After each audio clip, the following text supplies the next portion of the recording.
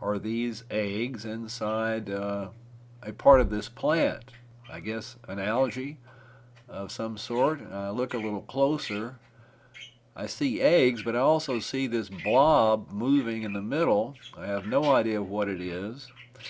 I looked at it long enough to see that it's not behind the plant, but must be somehow inside this part of the plant.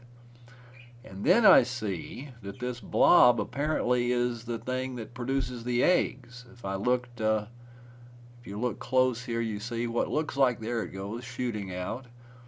So what the heck is it? What is this organism apparently inside a plant producing eggs? Thank you.